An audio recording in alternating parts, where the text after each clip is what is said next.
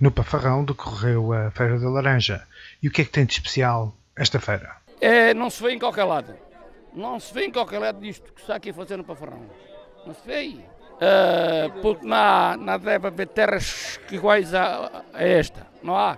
Assim, aspecto de laranjeiras e de regar, assim, pequenos pontos com a gente, não é igual. Acho que é o clima.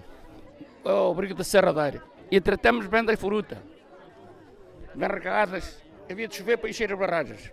Todos os anos. Desde que ela começou, vim cá sempre. Este ano está bom, está como ao costume, mais ou menos. É sim, senhor, um convívio bonito é bom. Enquanto eu puder, venho sempre aqui. E quando eu não puder, já tenho quem me substitua. E por que razão se faz uma corrida de motores de rega?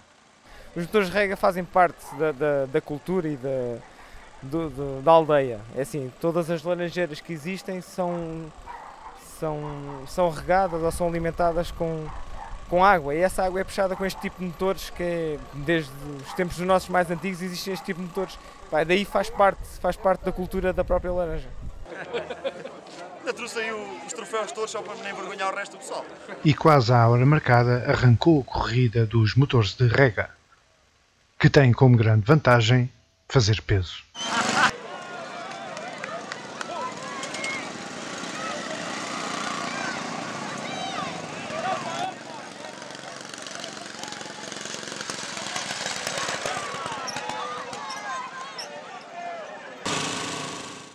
Depois foi a vez dos mais novos experimentarem a sua sorte